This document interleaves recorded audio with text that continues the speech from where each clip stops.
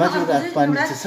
Roof leakage roof बर्सातको टाइममा। भनेपछि दुईटा त्यो ठुल्ठुलो रुम छ नि त्यसमा छ छवटा बेडको कुरा हजुर पानी चाहिँ एकदमै रनिङ वाटर चाहिँ हुनैपर्छ। हजुर। किनभने अब हामीले स्टोर गरेको पानी त बेन गरेर राख्ने पेसेन्टहरू आएपछि त अब पानीको चाहियो हामीलाई। त्यसले गर्दा उहाँले भन्नुभएको छ रनिङ वाटर चाहिँ एकदम हुनुपर्छ। सोर्सबाट पानी हेरेर तपाईँहरू आउनुहोस्। बिबिचमा टेपिङ भएको छ बजारतिर अथवा केहीमा टेपिङ भएको छ भने त्यो पनि हेरिदिनु। एकपल्ट चाहिँ तपाईँहरूलाई पोस्टले गर्छ त्यो चाहिँ हेरिदिनु भनेर चाहिँ भन्नुभएको त्यस्तो त्यो फिल्ट्रेसनहरू त केही पनि छैन सायद दिनुहुन्छ होला। मैले त्यो कुरा गर्दाखेरि चाहिँ हामी तपाईँहरू जति पनि इक्विपमेन्ट्सहरू छ त्यो चाहिँ हामी तपाईँहरूलाई चाहिँ हाम्रो माथिबाट एसिएमओ जानुभएको थियो है? एसिएमओ जानुभएको थियो बिएमओ जानुभएको थियो। अन्त सुकिया पोखरीबाट अँ, ब्लकबाट उयो के अरे? भिडियो भिडियो आउनुभएको थियो। अन्त उहाँहरूले चाहिँ यसलाई चाहिँ विशेष गरेर यो अहिले पिएचसी छ। यो पिएचसी चाहिँ बेडेड होइन। तर अहिले चाहिँ क्वारेन्टाइनको लागि चाहिँ जुन नयाँ हस्पिटल जुन नयाँ तल बनिएको छ त्यसलाई चाहिँ उहाँहरूले क्वारेन्टाइन सेन्टर बनाउने उद्देश्यले चाहिँ यहाँनिर चाहिँ बेड हाल्ने भएको छ। यसमा चाहिँ तपाईँको टुवेल्भ बेड भन्दैछ अहिले। जम्मा अहिले बाह्रवटा बेड चाहिँ हाल्ने। अब मेल फिमेल कतिवटा गरेर सिक्स सिक्स बेडेड गरेर चाहिँ उनीहरूले अहिले अब यो बेड हाल्ने भएको छ। यसमा चाहिँ अब कस्तो किसिमको भन्ने चाहिँ अब पेसेन्टहरूलाई कस्तो क्वारेन्टाइन भन्नाले चाहिँ एउटा त भयो होम दुईवटा हुन्छ एउटा होम क्यारेन्ट क्वारेन्टाइन भयो एउटा अब तपाईँको कस्तो भने जो चाहिँ अब पेसेन्टहरू चाहिँ बाहिरबाट आएको छ उनीहरू हेर्दा चाहिँ राम्रै छ होइन? नर्मल्ली छ नर्मल्ली फिट छ उनीहरू। तर भित्र इन्टरनल्ली उनीहरूलाई के भएको छ त्यो त हामी जान्दैनौँ नि त। हो किन भन्नुहोस् त? त्यसले गर्दाखेरि चाहिँ उनीहरू अब अरूसँग कन्ट्याक्टमा आएको छ। त्यसले गर्दाखेरि चाहिँ उनीहरूलाई चाहिँ फोर्टिन डेज चाहिँ चौध दिन चाहिँ उनीहरूलाई क्वारेन्टाइन गरिदिन्छ अन्त चौध दिनभित्रमा उनीहरूलाई केही पनि लक्षण देखाएन। त्यस्तो केही पनि देखाएन। उनीहरूलाई फ्री गरेर घरमा गएर पठाइन्छ। जो चाहिँ हाम्रो उहाँले एसएमओजहरूले भन्नुभयो यो सबै हामीले भिडियोलाई उयो गरेको छौँ। भिडियो आएर चाहिँ यो तपाईँहरूलाई गर्नुहुन्छ र मैले भन्दा चाहिँ यहाँ त नर्सिङ स्टाफ पनि एकजना मात्रै छु म अहिले। डक्टर्स पनि यहाँ हुनुहुन्न होइन? यहाँ त अब एउटा स्टाफको कमी छ भन्दा चाहिँ उहाँले स्टाफको लागि के सुर्ता नगर्नुहोस्। स्टाफहरू हामी एकदमै पठाइदिन्छौँ माथिबाट नै अब उनीहरूलाई। डक्टर्स र डक्टर्स क्वार्टर पनि बनिने भएको छ। डक्टर क्वार्टर र सिस्टर क्वार्टर पनि छ। उहाँबाट चाहिँ उनीहरूले स्टाफहरू पठाइन्छ। स्टाफको लागि तपाईँले केही सुर्ता नगर्नुहोस्। अरू फाल्टो पनि कुनै पनि इक्विपमेन्ट्सहरूको लागि तपाईँले सुर्ता नगर्नुहोस्। यहाँ चाहिँ हामीले अब सबैको सहयोगमा चाहिँ हामीले क्वारेन्टाइन सेन्टर खोल्ने भएको छौँ भन्ने चाहिँ भन्नुभयो। यसमा भिडियोहरू आउनुभयो त भिजिटमा? हजुर आउनुभयो। कहिले आउनुभयो? हिजो आउनुभयो। हजुर हजुर हेरेर भिडियोहरू उहाँ त उहाँहरू त हुनुहुन्थ्यो सबैले गएर चाहिँ। आज चाहिँ उहाँहरूले के भन्नुभयो माथिबाट हामी डिपार्टमेन्टलाई चाहिँ पठाइदिन्छौँ। र चाहिँ तपाईँले यो देखाउनुहोस्। अब हाम्रो यहाँबाट चाहिँ कहाँबाट इन्ट्री हुन्छ कहाँ एक्जिट हुन्छ त्यो चाहिँ कुन कुन कुन डिपार्टमेन्ट अहिले आएर तपाईँहरूलाई चाहिँ भिजिट गर्दैछ? यहाँ अहिले उहाँ आउनुभयो इले इलेक्ट्रिसिटीको। आउनुभयो बत्ती व्यवस्था हजुर पावर डिपार्टमेन्टको। अन्त अर्को चाहिँ अब पिएचई भनौँ न पानीको। पिएचईबाट आउनुभयो।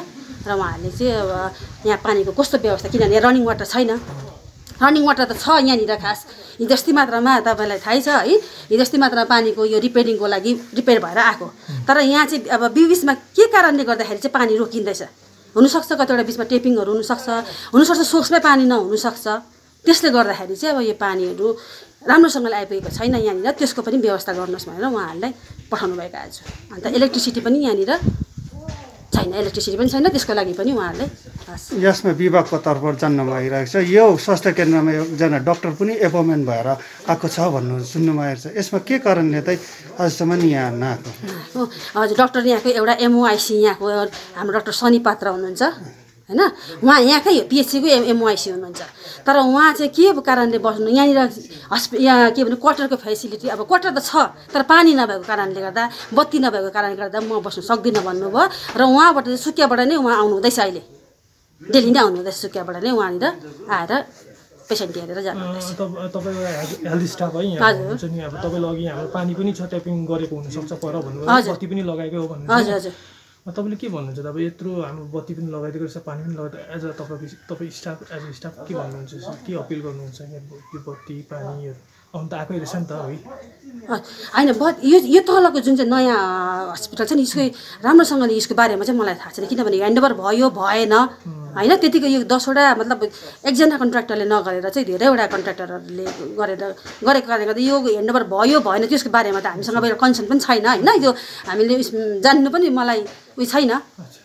तरै पनि अब उहाँबाट चाहिँ के भन्नुभएको छ नि अब यो चाहिँ बनिएको छ तर यसमा चाहिँ अब एन्ड देयर गरेर विदिन द विक यो हप्ताभित्रमा चाहिँ हामीले चालु गर्ने भनेर चाहिँ उहाँले भनेर जानुभयो। अलिकति एउटा कन्फ्युजन मान्छेलाई के छ भने नि अब। जस्तै यहाँ बिमारीहरू राख्ने भनेपछि मान्छे डराउने हजुर। त्रास छ होइन। हजुर। अब आइसोलेसन र के अरे क्वारेन्टिनमा मान्छेले अलिकति बुझेको छैन नि त। हजुर हजुर। अब त्यो अलिकति बुझाइदिनु किनभने यहाँ मान्छेले डराइराखेको छ। हजुर हजुर हो ठिकै भन्नुभयो।